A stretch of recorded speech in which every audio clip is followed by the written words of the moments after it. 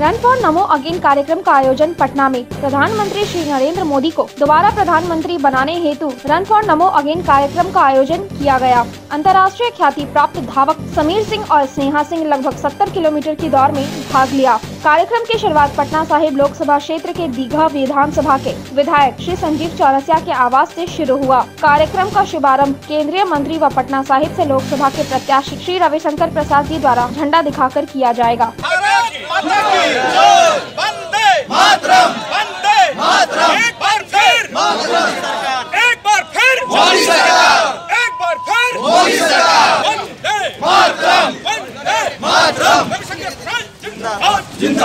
जब महागठबंधन बन रहे थे बुरे लोगों का तब हम सब एकजुट होकर अच्छे लोग मोदी जी को वापस भारी मतदान से जिताकर इस देश का पीएम।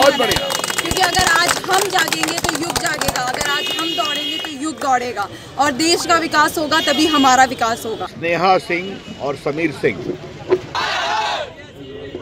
आप देखिए क्या लिखा है। फिर एक बार मोदी सरकार। नमो अगेन। मोदी सरकार। मोदी सरकार। ये दोनों दौड़ते हैं। देश के विभिन्न नगरों में जाकर दौड़ रहे हैं। आज वो पटना में दौड़ेंगे। और उनका एकमात्र मिशन है कि मोदी जी की सरकार दोबारा आए। आज पटना शहर में जब ये आए हैं तो मैं स्वयं इनका अभिनंदन करता हूँ। हमारे मित्र पार्टी के वरिष्ठ नेता आदरणीय अरुण कुमार सिन्हा जी, मुख्य सचेतक यहाँ पर हैं। संजीव चौरसिया जी, दीघा के विधायक, वो भी उपस्थित हैं। हमारे पार्टी के जिला अध्यक्ष सीताराम पांडे जी उपस्थित हैं। और सीताराम, अरे, हमारे संजीव चौरसिया जी के निवास स्थान पर जो ये कार्यक्रम है तो इनका बहुत अभिनंदन है। इनकी दौड़ बताती है कि हाउ इज़ द जोश? तो देश का जोश बहुत जोरदार है। नौजवान मोदी से जुड़े हैं तो आज हमारे शहर पटना की धरती पर मैं इन दोनों का बहुत अभिनंदन करता हूँ। हम सबों की शुभकामना है, दौड़ें और विश्वास से दौड़ें। दस साल में कितने नौकरी दिया? आज आपने नौकरी की बात की है तो अच्छा है, हमारे सारे यहाँ के वरिष्ठ नेता, विधायक खड़े हैं, अध्यक्ष वगैरह। हमने लगभग तेरह करोड़ लोगों को मुद्रा योजना दिया है। उसमें चार करोड़ फ़र्स्ट टाइम लोग हैं। नौकरी मिली कि नहीं मिली? इतनी सड़कें बन रही हैं, इतना गाँव में बिजली जा रही है तो वो रोज़गार के अवसर पैदा होने कि नहीं हो रहे हैं। आज देश में आईटी का मंत्री हूँ मैं। बारह लाख नौकरी खाली कॉमन सर्विस सेंटर के बच्चों को मिली है, जो देश में संख्या बढ़कर सवा तीन लाख हो गई है। बिहार में लोगों को मिली है। आज छोटे शहरों में बीपीओ खुल रहा है कि नहीं? पटना में आठ बीपीओ खुला है। मुजफ्फरपुर में खुला है आगे गया में खुलने वाला है। तो जब देश की आर्थिक व्यवस्था इतनी आगे बढ़ी तो रोज़गार तो हो ही रहे आगे और बढ़ेंगे।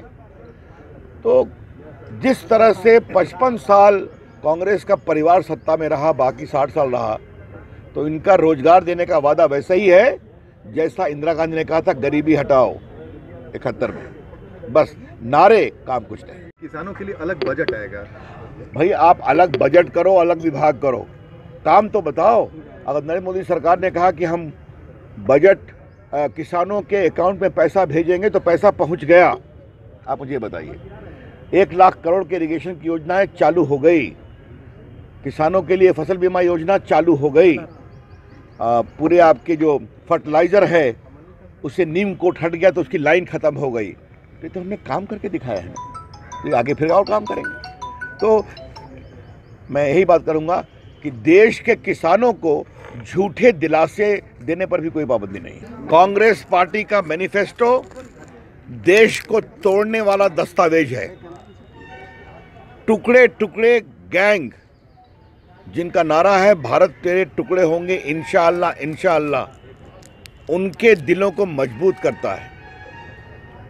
क्या कहते हैं कि हम देशद्रोह का कानून खत्म कर देंगे?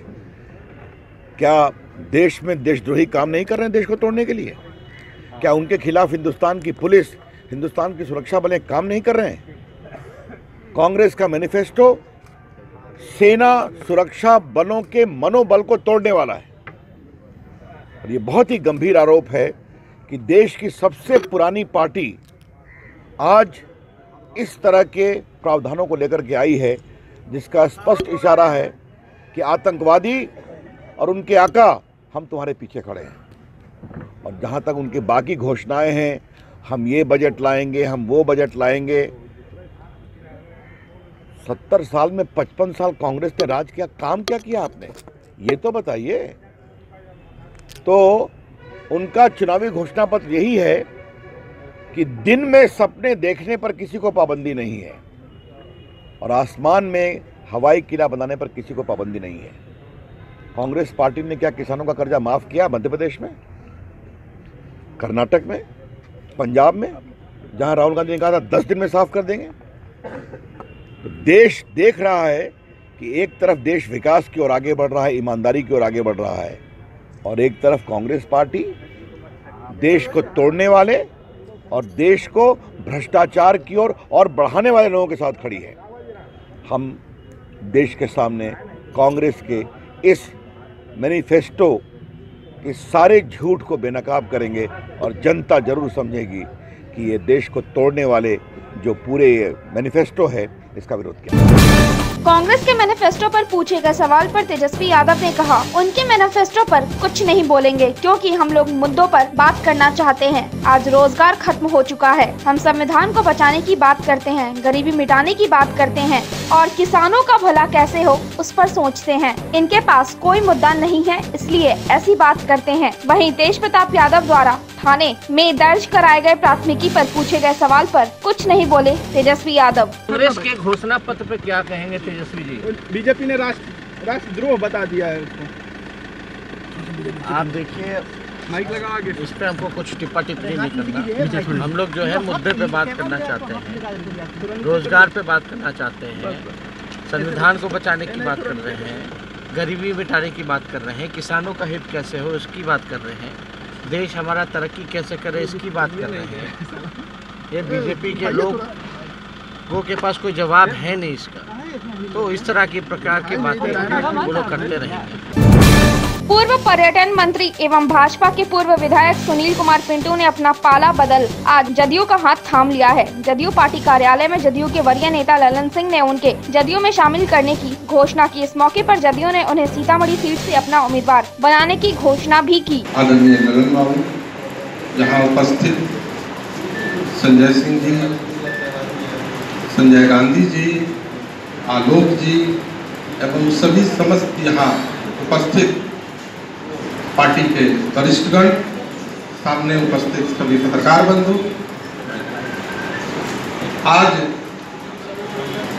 मुझे अपार प्रसन्नता महसूस हो रही है कि माननीय मुख्यमंत्री जी, आदरणीय नीतीश कुमार जी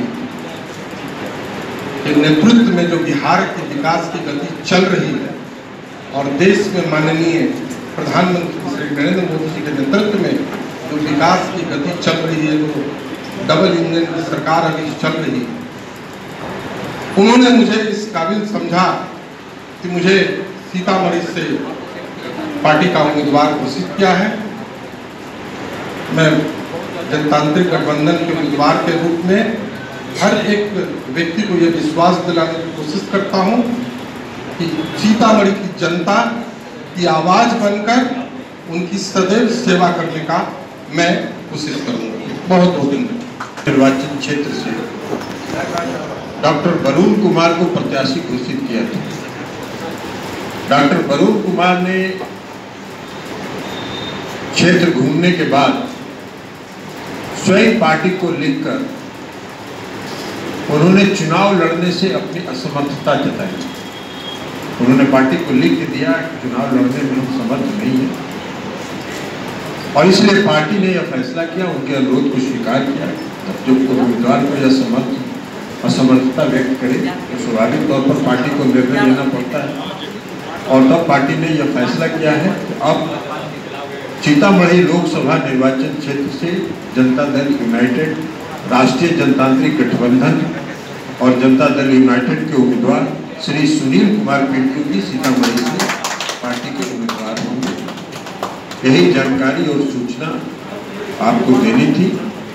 अब सीतामढ़ी के उम्मीदवार हमारे सुनील कुमार पिंटू लालू परिवार पर सुशील मोदी का बड़ा निशाना। तेज प्रताप को धमकी मिले, पर तेजस्वी के आज किसी भी तरह का बयान न देने पर सुशील मोदी ने साधा निशाना। कहा, तेज प्रताप को नीचा दिखाने की कोशिश की जा रही है परिवार में। आठ महीने से तेज प्रताप घर पर नहीं गया। डाइवोर्स देने का आवेदन दिया है, जो तेज प्रताप को नीचा दिखाने के लिए ससुर को टिकट दे दिया गया, तेजस्वी द्वारा। सत्ता के वारिस बनने के लिए लालू परिवार में यह लड़ाई और संघर्ष चल रहा है। मोदी ने कहा, यह लड़ाई सिर्फ़ दोनों भाइयों के बीच नहीं। मीसा भारती की भी स्टार प्रचारक क्यों नहीं बनाया गया? क्या कमी थी मीसा भारती में? हो सकता है तेज प्रताप को पार्टी से निकाला भी जा सकता है। तेज प्रताप में लालू की छवि है और लोग तेज प्रताप को पसंद करते हैं। क्या कारण हो सकता है तेज प्रताप को रोकने का? इस विवाद के कारण राजद के तमाम बड़े नेता चुप्पी थामे हुए हैं। बड़े नेताओं को शिवानंद तिवारी को इस पर बोलना चाहिए। तेज प्रताप को धमकी मिली है सर और तेजस्वी इस बात से कोई भी उनका कहना नहीं है कुछ। कोई प्रतिक्रिया नहीं जो वंशवादी पार्टियाँ हैं और जहाँ पर सत्ता के दो दो दावेदार हैं। जहाँ वारिस एक से ज़्यादा वहाँ सत्ता संघर्ष को कोई रोक नहीं सकता। चाहे आप ओम प्रकाश चौथाला के परिवार को देख लीजिए? अजय चौथाला अभय चौथाला फिर उनके पोते वहाँ भी सत्ता संघर्ष चल रहा है। डीएमके के अंदर देख लीजिए, कुमार स्वामी की पार्टी को देख लीजिए तो जिन लोगों ने एक से ज़्यादा संतानें पैदा कर दिया तो उन संतानों के बीच में वारिस की जो लड़ाई है, कौन होगा असली वारिस? ये सत्ता संघर्ष तो होना ही था तो ये कोई बहुत आश्चर्य की बात नहीं है। और देखिए, जो सबसे बड़ी बात है कि जब तेज प्रताप यादव ने डाइवोर्स का मुकदमा दायर कर रखा है तो वैसी स्थिति में उसके ससुर को टिकट देने का मतलब है, जले पर नमक छिड़कना। आ बैल मुझे मार। यानी जो लड़का पिछले आठ महीने से घर नहीं गया है, माँ से मिलने तक नहीं गया, और उसके ससुर को आपने टिकट देकर आप उसको जलील करने का काम कर रहे हैं। ये लड़ाई केवल दो भाइयों में नहीं है। आखिर मीसा भारती को कौन स्टार प्रचारक बनाएगा? भाई चुनाव लड़ने वाले सभी लोग तो स्टार प्रचारक बने रहते इसमें कौन ऐसी बात थी ये सत्ता संघर्ष जो चल रहा जनता दल, ये राष्ट्रीय जनता दल के भीतर ये तो होना ही था, ये कोई बहुत आश्चर्य की बात नहीं है। इतिहास इस बात का गवाह है कि औरंगज़ेब के ज़माने से आज तक और पाकिस्तान में तो हम आए दिन देखते हैं। इसलिए जो ये, जो दोनों भाइयों का जो विवाद ये ये थम नहीं होने वाला है। भले ये तेज प्रताप को पार्टी से निकाल दें, क्योंकि तो बड़ा भाई था।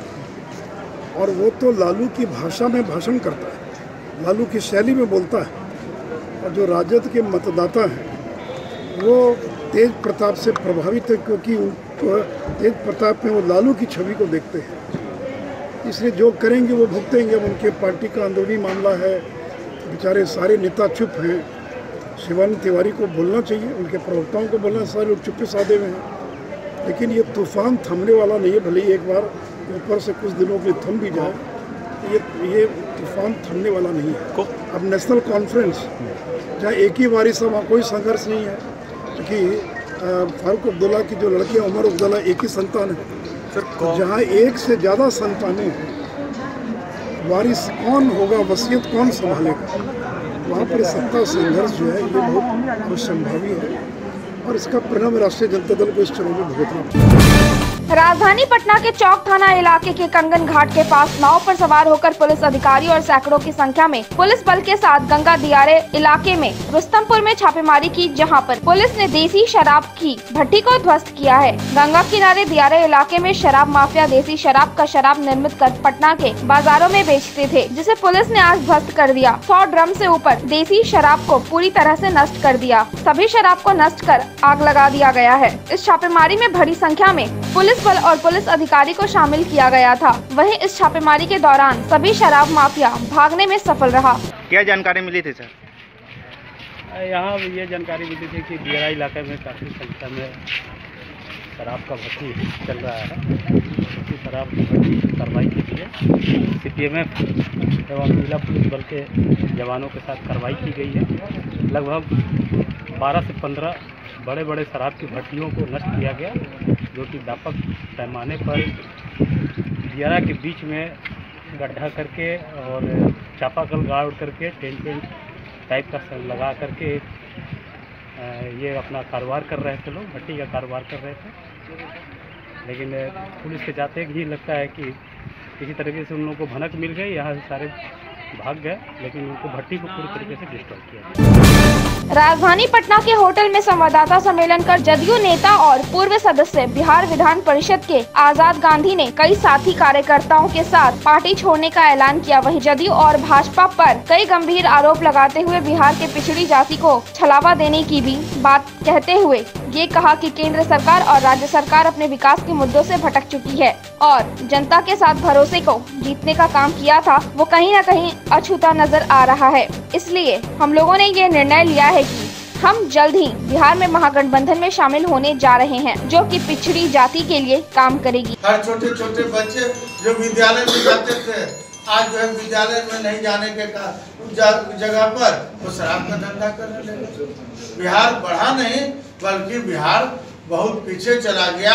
इन तमाम मुद्दों को देखते हुए हम लोग जो है जितने साथी के साथ जदयू में गए थे, हम लोग तमाम साथी जो है हम लोग जनता दल यू के पदों से हम लोग इस्तीफा देते लेटेस्ट खबरों के लिए देखते रहिए एम न्यूज़ जेड न्यूज़ और ताज़ा अपडेट पाने के लिए चैनल सब्सक्राइब करना ना भूलें।